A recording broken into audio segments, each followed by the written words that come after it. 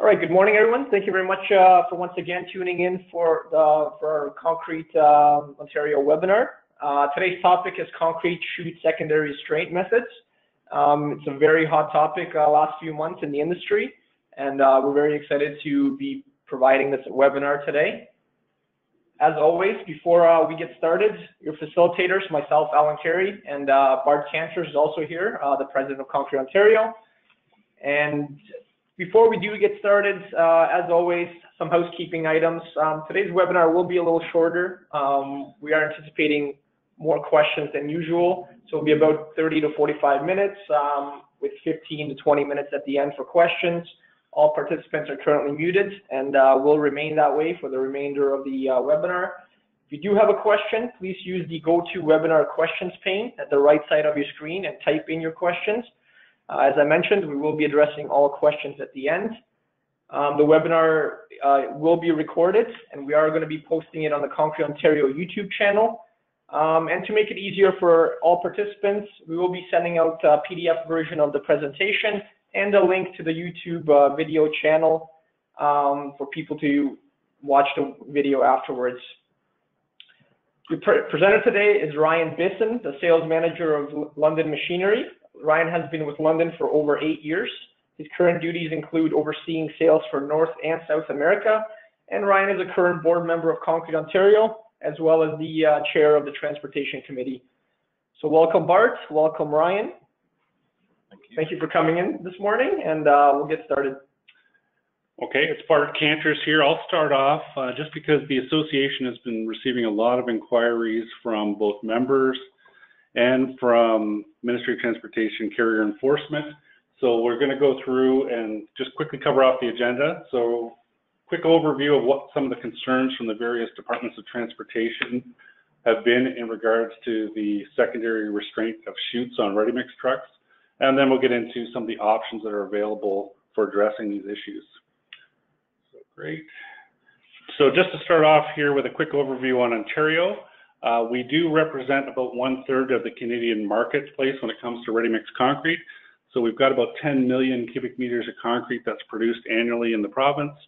Uh, as part of our plant certification program, we do certify uh, over 270 concrete plants, and we issue truck stickers for over 3,400 trucks in the province.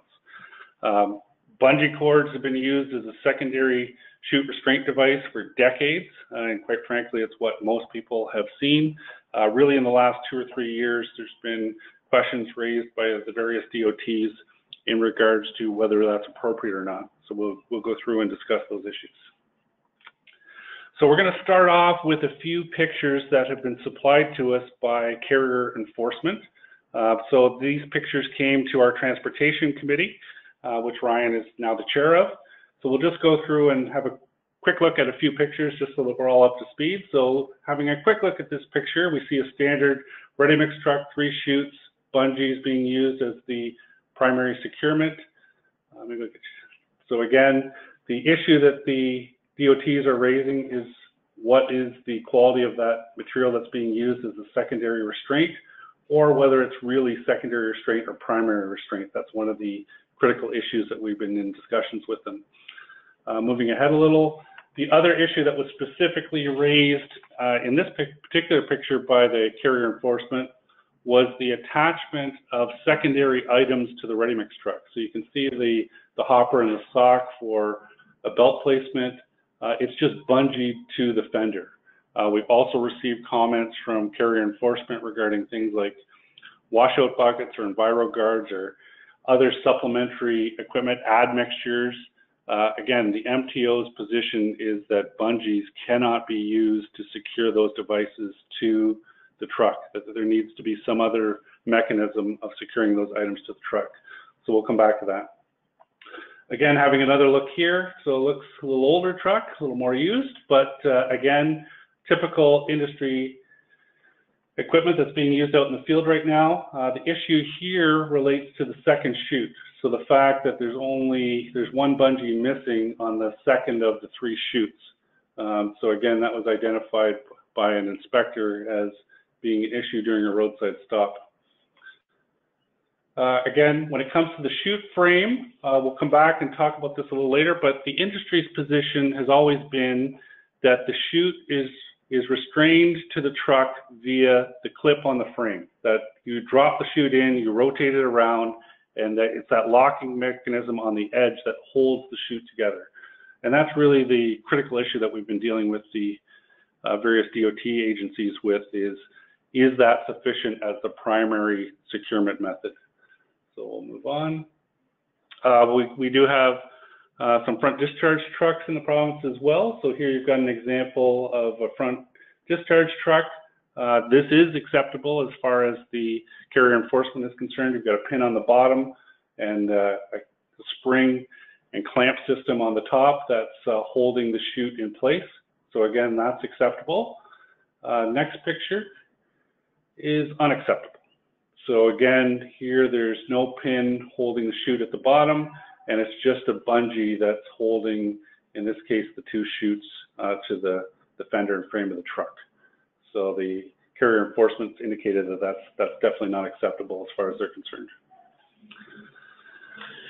Okay, so uh, Ryan Bisson here. Um, DOT carrier enforcement concerns. Equipment manufacturers and concrete producers have we've received feedback and concerns by the DOT in multiple provinces regarding the use of bungees in connection with concrete chutes. Uh, that in an event of a rollover, the cradle, the chute cradle itself, they're stating would not be sufficient enough to restrain the concrete chutes that bungees are not acceptable as primary securement for concrete chutes, even though we state that it is secondary, they believe it is still a primary uh, securement. That bungee cords with safe working loads stamped on the bungee are not acceptable since there's no practical way of determining their reduced uh, effectiveness when they are damaged. Now, us at the Transportation uh, Committee, our position, uh, Concrete Ontario Transportation uh, committee's understanding on this issue is that the bungee cords that are used by the manufacturers of ready-mix concrete trucks in North America are not designed, as I stated before, as primary methods of securement of the chutes on the concrete trucks. Instead, the cradle that the chutes are loaded into is designed to be the primary method of securement. In this situation, the bungee cords that are commonly used by the industry are supplied to provide additional additional secondary securement and peace of mind. Now, really, what position is correct in the uh, DOT's mind? Yeah, it, re- is really it really comes down comes to down to none. Yeah, yeah, they they have the enforcement ability. Um, so ultimately, it's MTO carrier enforcement that's going to be responsible for uh, making the final call, and that's really the difficult situation that the industry has been put in over the last couple of years. So I would say probably about two years ago, we had uh, a gentleman from the uh, DOT come in to review our, give a plant tour of our facility and give, uh, show examples of chute securement. Um, which you can see there, just our plant. Next slide.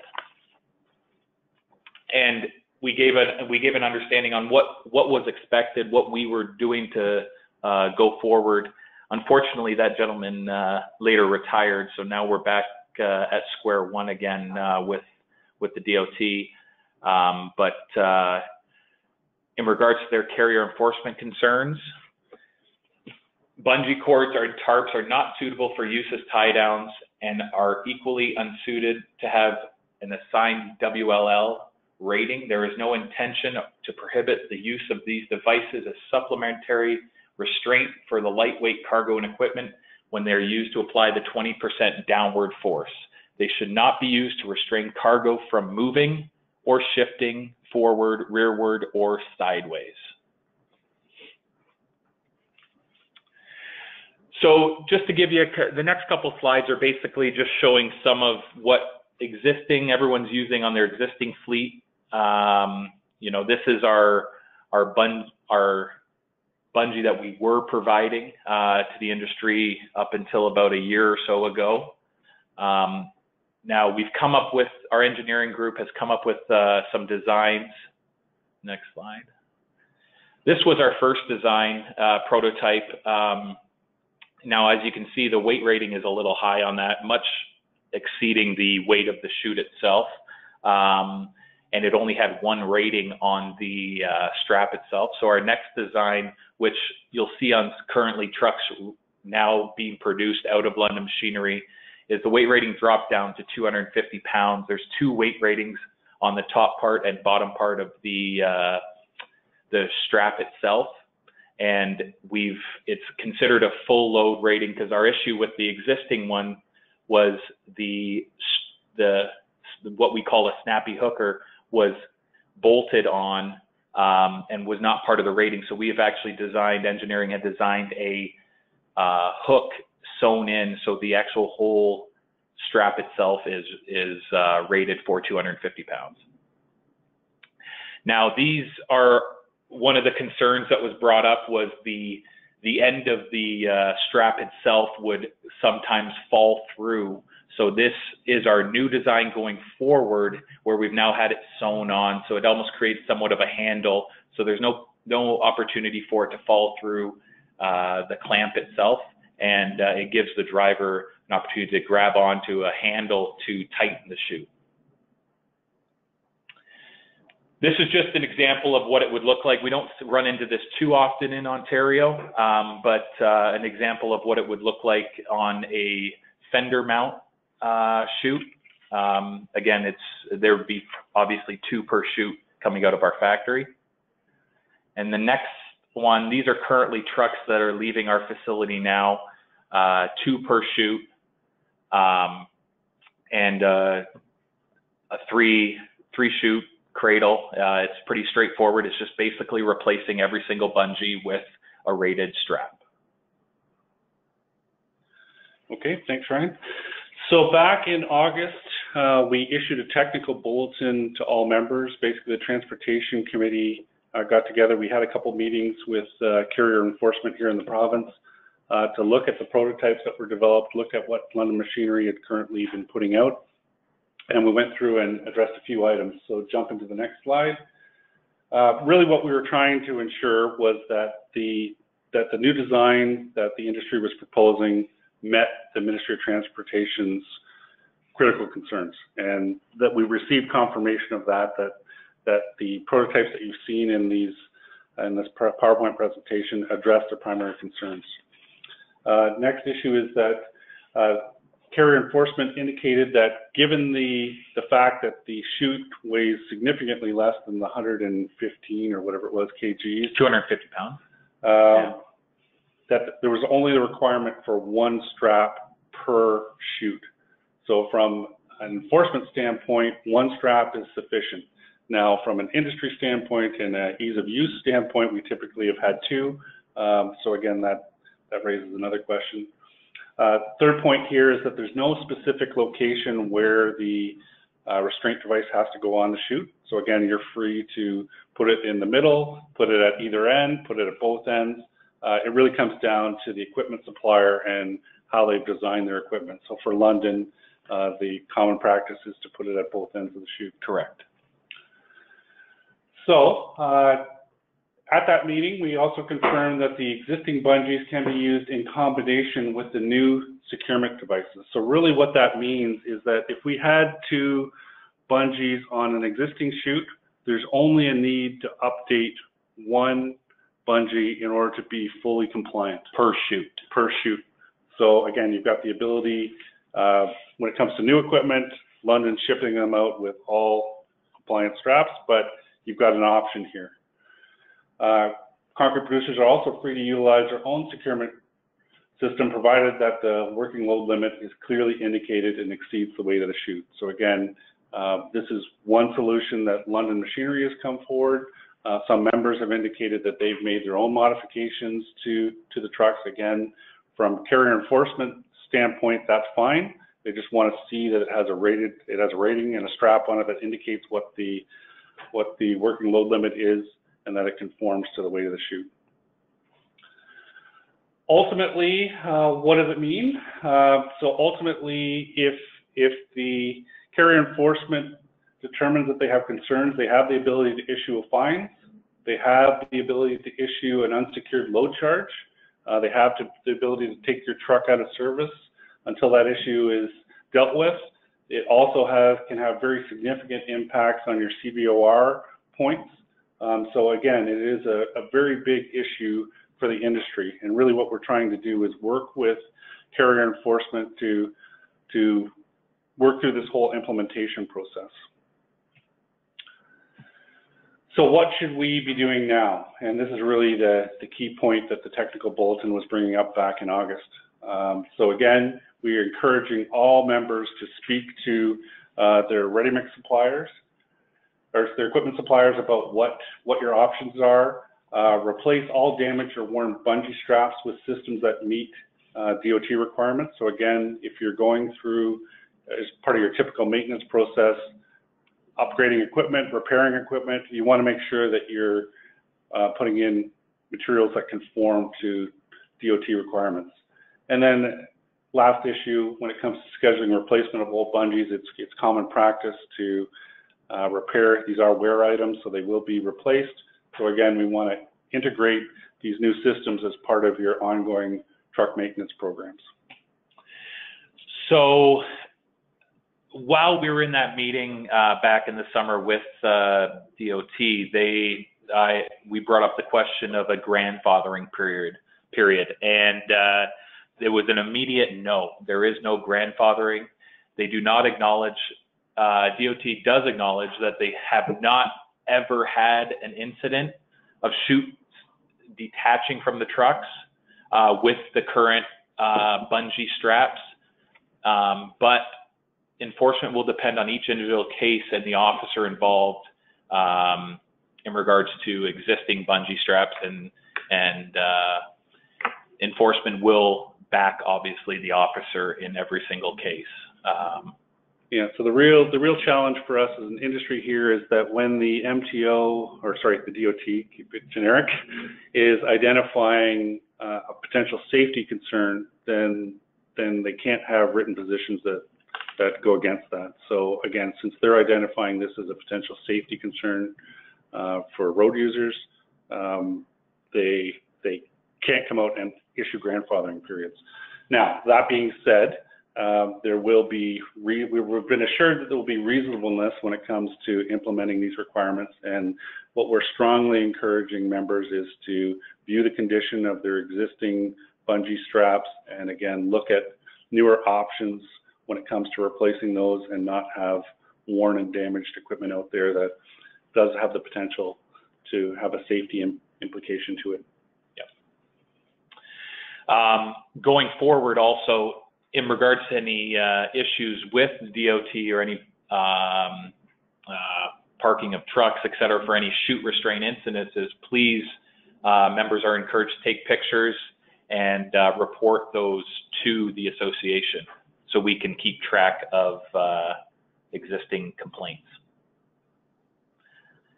Uh, in regards to chute restraints, CVR, and all common topics discussed at the committee meetings, where we'd love to obviously have anyone else interested in uh, joining the transportation committee, uh, where members are always encouraged to participate. And if you are willing to uh, join, please contact Bart or myself, uh, and we'd love to have you uh, sit in on uh, some of the meetings and assist with some of these ongoing issues. Great. So now at this point, we'd like to open it up to uh, some general questions. So we'll start off with the first one. Uh, what happens in the winter when these devices, uh, are they susceptible to freezing conditions and cold weather? Now, that right there, I, I guess we, it's still, we've, we have not run them through the winter. So, you know, we were under the, uh, we were looking at a solution, a quick solution. We don't believe that it should have an issue, but again, we have not run these through the winter. We're, we wanted to make sure uh, we got a solution out there because we were forced by the DOT to come up with a solution. Um, we came up with a solution, um, and if we're not saying it's right or wrong, but it was accepted by DOT as a correct solution. So unfortunately, time will tell. We have not run these through the winter to be able to tell if these uh, these will uh, have issues with uh, weather related. Okay. All right. Uh, the next question we have to word correctly, but uh, from a cost standpoint, uh, what kind of percentage increase? Well, what's the cost difference between the existing bunch? Don't get dollar specific, but what's Yep. the? Yeah, really, the cost from existing uh, bungees to current new style straps is roughly they're four dollars more than what we've been uh, currently uh, uh, offering. So it's it's really not as significant as uh, as what we as people assume. It's not a fifty dollar strap, you know, by any means. It's it's fairly uh, sig- insignificant the cost.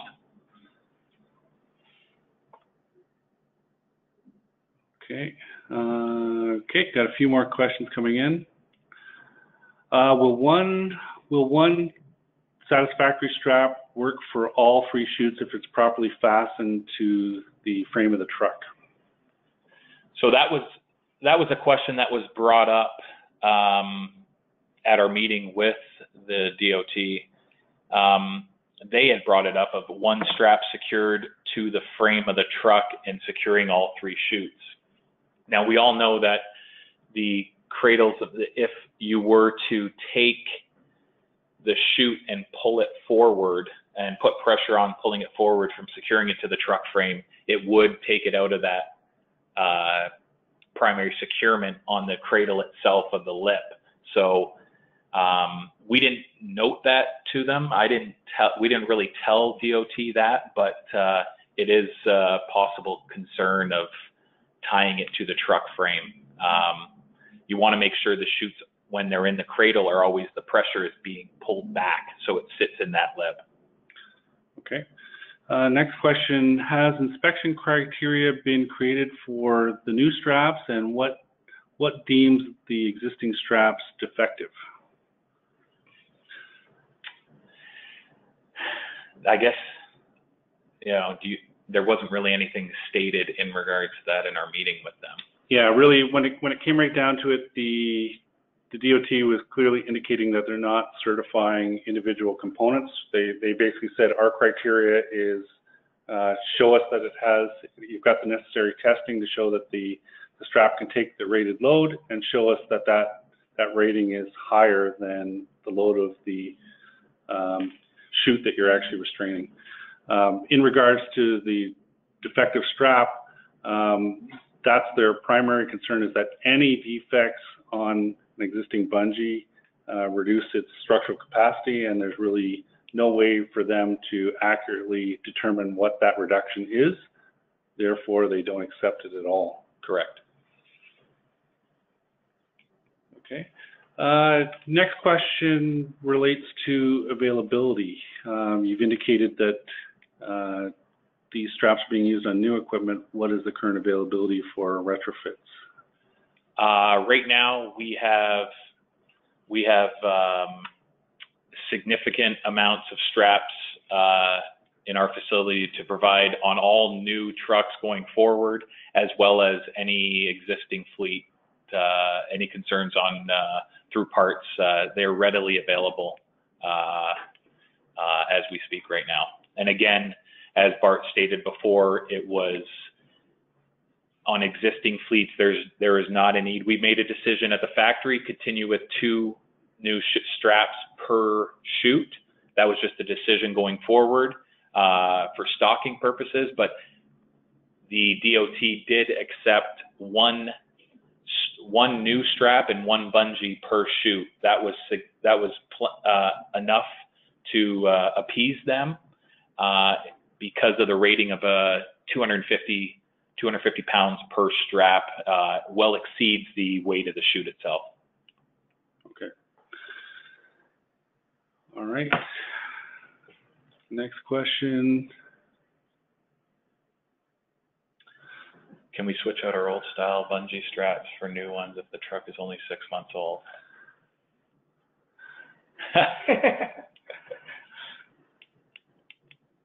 Is there a warranty on the straps? Is the question. There, Yeah, so that, that would have to be, uh, you know, I, I'm not sure about that, that one yet. That, that is, uh, that is something that has to be, uh, uh, discussed internally. Unfortunately, I don't have an answer for you on that one right now. Okay, so we'll leave that to individual manufacturers. And again, um, as an association, we're, we're just stressing what the concerns are. We have had members that have been receiving unsecured load charges, and as an industry, we've got to try and address this moving forward.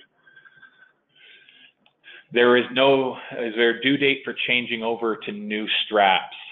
Uh, there is no due date. It was more so with us producing units from the factory new now with the straps, it will create um, the officers to start looking at trucks that have bungees. They were they were not giving a due date per se. They was more so as as needed if you were to change out a bungee, change it over to the new style. Um, they wanted it done sooner than later. It was not, uh, as we stated before, there was no grandfathering by any means. It was uh, sooner than later. Yeah, the real concern with carrier enforcement was they wanted to see that the industry was actually addressing their concerns and moving forward. So by developing new secondary restraining systems, we're addressing that concern.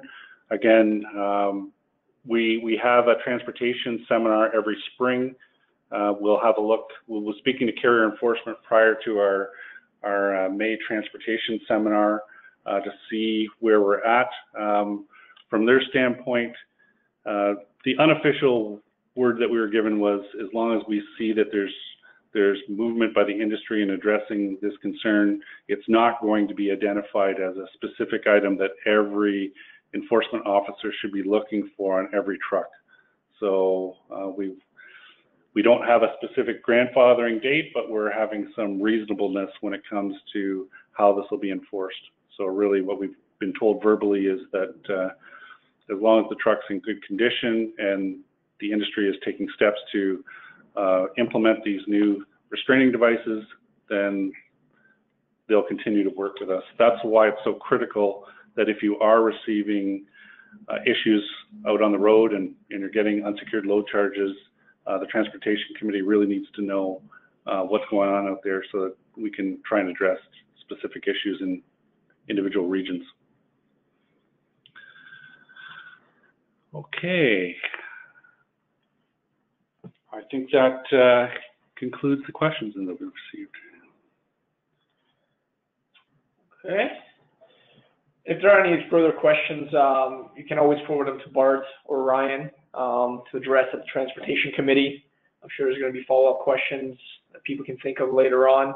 And um, as people identify more issues, it can be brought to the Transportation Committee uh, for them to address it. In terms of what's next for the webinar series, uh, December 12th, we decided to do the cold weather concreting. Uh, we're still working on the seasonal load issue. Um, we're looking for some contacts, so that will be done now on February 20th. And uh, January 17th, we do have the uh, preparing for MOE plant inspections we uh, webinar. Um, so we do have two consultants coming in for that one. So we encourage you to register for these future seminar webinars. And thank you again for tuning in this morning. Thank you to Ryan. Thank you to Bart. And uh, thank you to everyone for again tuning in. Uh, we will be sending out the presentation and the YouTube link uh, in the coming week. And have a great day. Thank you.